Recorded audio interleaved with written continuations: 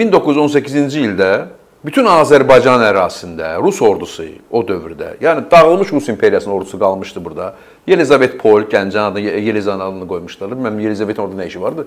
Onun adını qoymuşlar. Göyçədi, Qayraməryana kimi Bakıda burada soyqırımı keçirdiblər və e, Bakıda 31 martda, 31 mart gəlir öndə 10 minlərlə insanı qanla qaytan və həmən zorlama hadisəsi, kəsmə, hamilə qadınların qarnını kəsib oradan körpə uşaqları muxa keçirdib, bilmirəm, divara vurma, bunlar hamısı olub burada.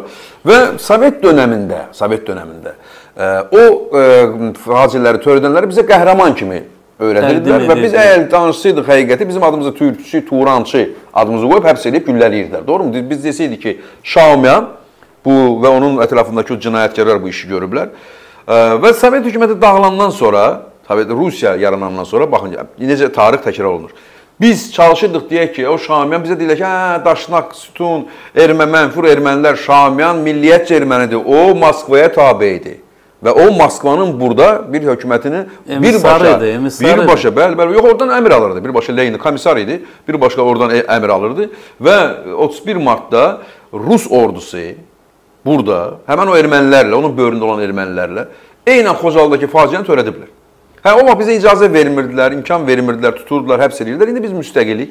Biz heç kimin əleyhinə heç danışmaq, biz ancaq həqiqətləri danışmaq istəyirik. Bəli. Həqiqətləri və o dövr dövrdə həqiqəti danışmadıq deyənə bir də o palçığa girdik.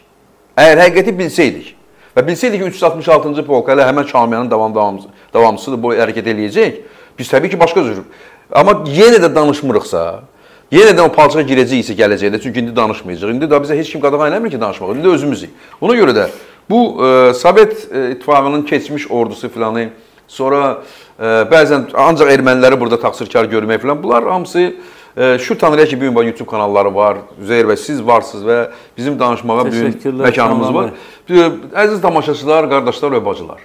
Tarix həmişə təkrar olunur. Amma tarix bir babadır, bizə dərs verir, dərs. Biz ondan dərs almalıyıq, başa düşməliyik. Nəticə çıxarmalıyıq. Və təkrar edirəm, biz Üzeyir bəylə burada danışanda heç də nə Rus millətinin, nə Rusiyanın.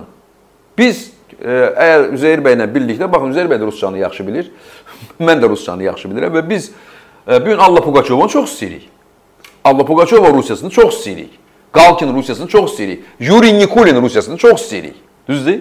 Smaktunovski Rusiyasını bilmirəm, Andrey Mironov Rusiyasını, Qayday kimi rejissorların, Rezanov kimi rejissorların, Tixonov kimi, Tixonov kimi bəli aktyorlar Rusiyasını biz çox sevirik. Amma Simanyanın o ifunətli Simanyan var ha indi. Bax indi görürük ya orada. Həmin o Karoçinkoda onun bir uzantısında.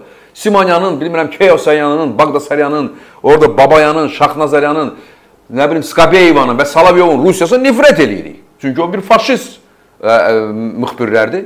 Oradan ancaq müharibə, savaş, yalan oradan yerdir. Biz necə Simanyanı sevə bilərik? Və burada Azərbaycanda oturub.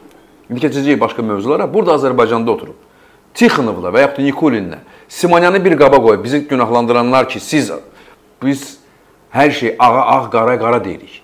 Və Simonyanın burada sözünü Azərbaycanda danışanlar bu günləri güya ki, burada e, Bəli, onlar çapqındılar və onlar Azərbaycanın ancaq bir də palçığa girməyini, bir də məhv olmağını istəyənlər də Əl-Simanyanın sözünü burada deyirlərsə, ona görə də Üzeyir bəyin dediyində həqiqətlər və bu həqiqətləri də eşidəcəyik. Eşidəcəyik. Sadəcə like şərifi tıklayın ki, daha çox insan eşitsin.